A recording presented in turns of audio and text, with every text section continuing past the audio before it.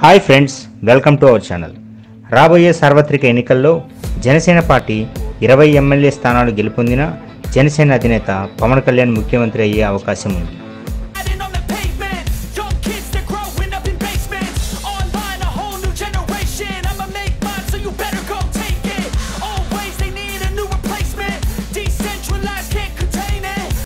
అది ఎలా అంటే వచ్చే సార్వత్రిక ఎన్నికల్లో జనసేన బీజేపీ టీడీపీతో కలిసి పోటీ చేసినట్లయితే జనసేన బీజేపీ ఉమ్మడి అభ్యర్థిగా పవన్ కళ్యాణ్ని ముఖ్యమంత్రిగా ఒకటి లేదా రెండు సంవత్సరాలు చేయాలి అని చెప్పి బీజేపీ టీడీపీ డిమాండ్ చేయవచ్చు.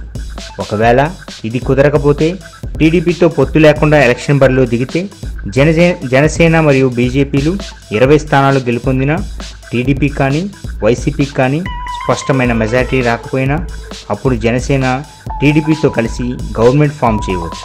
ఈ విధంగా జరిగిన పవన్ కళ్యాణ్ ఒకటి లేదా రెండు సంవత్సరాలు ఆంధ్రప్రదేశ్ ముఖ్యమంత్రిగా పరిపాలన సాగించే అవకాశం ఉంది.